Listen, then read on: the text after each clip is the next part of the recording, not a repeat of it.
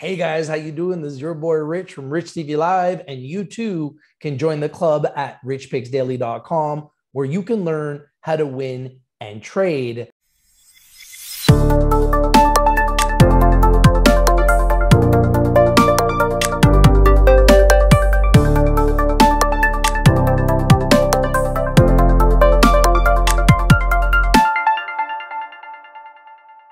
Hi, how you doing today? I'm your host Rich. Here on behalf of Rich TV Live with our very special guest, the Chief Investment Officer of Vox Royalty, Spencer Cole. How are you doing today, Spencer? I'm fantastic, Rich. How are you doing? I'm doing fantastic. Love having you on the show. And I've got some questions for you. But before we get into those questions, why don't you just remind our listeners a little bit about Vox Royalties and how you guys have performed over the last year? Absolutely, Rich. So Vox uh, uh, Vox Royalty is a precious metals focused, high growth mining royalty investment company, um, and we were established eight years ago, uh, specifically for inflationary uh, markets such as we find ourselves in today. And in the last twelve months, Vox was the best performing uh, best performing royalty company on all stock exchanges. So that's across our entire seventy billion dollar industry. Vox was the top performing stock last year congratulations on all your success. This is why we love to do these interviews to identify companies that are undervalued, underappreciated, and underexposed. I know you guys have had some big news. What was the significance of the operator update that Vox released earlier this week?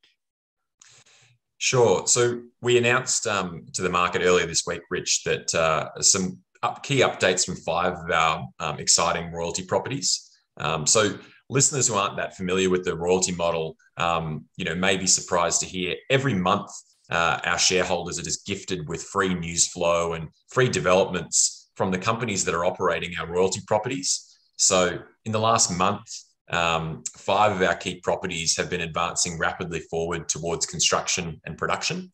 Um, one of the properties, the Bulong Gold Mine in Western Australia, they just received this, um, some of their final permits. And so they're well on track to be moving into construction and production over the next 12 months. Um, another one of our key royalty properties, the, the Bowden Silver Project, which is actually the largest silver um, project in all of Australia.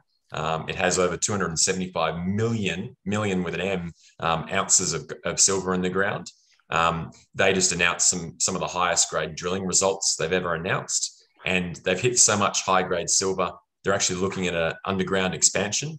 So that's that's pretty exciting. And then one of our other key uh, gold royalties in Nevada, um, uh, which is operated by a company called Gold Standard Ventures. Um, they're just in the final stages uh, of completing a feasibility study uh, and then looking to move the project into construction. So just a huge amount of, of positive uh, developments on some of our key properties that will translate into substantial revenue growth for our shareholders over the coming quarters and, and years.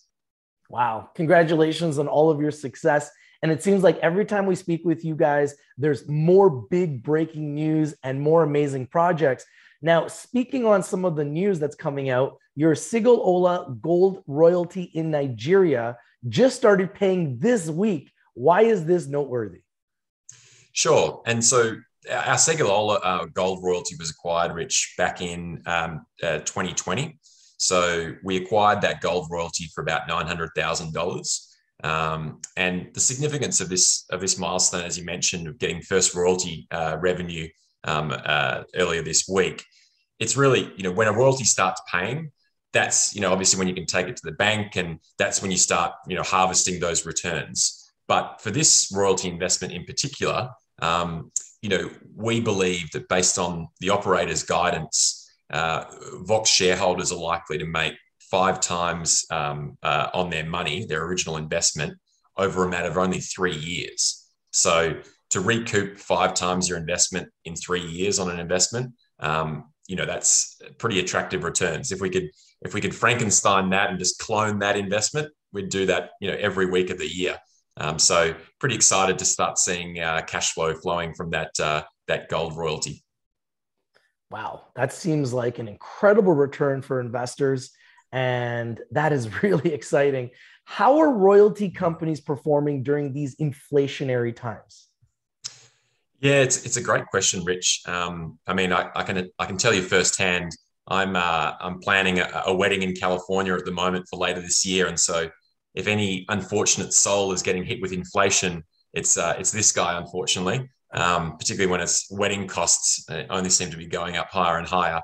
Anyway, I'll stop sobbing about my wedding costs. Um, I guess royalty companies typically can like significantly outperform during in high uh, high inflation periods. So as commodity prices rise, um, obviously, you know, the miners start to sell their, their underlying metal for more money. And given royalty companies such as Vox, we're typically getting a percentage of revenue. Likewise, our revenues start to increase. So investors get all that upside linked to inflation without any of the cost pressures that, that inflation typically creates for a miner. So inflation causes royalty companies, their margins to expand um, because we're not paying operating costs to operate the mine. Um, and so it's royalty companies are probably the single greatest um, yielding investment in high inflation periods. You get this huge multiplier effect um, as commodity prices increase. So that's been historically sort of well documented, and we're certainly seeing that today with, as commodity prices continue to rise. It's another reason why I ever believe everybody that is watching needs to put Vox royalties on their radar, on their watch list, VOX in Canada, VOXCF in America. And the next thing I was going to ask you is can you tell us a little bit about the ongoing industry consolidation in the royalty industry, including Gold Royalty Corp's Christmas present hostile bid for Elemental on December 20th? How does this impact Vox? Yeah, so it's a good way of, of phrasing it, Rich. A um, you know a hostile takeover bid launched on the 21st of December is always a little bit of a rude Christmas present for any uh, for any company. Um, look, I think a lot of a lot of people in the mining industry have been talking about uh, consolidation in the royalty industry for some time, um, and in the last 12 months alone, there's been three separate uh, junior royalty companies that have been acquired.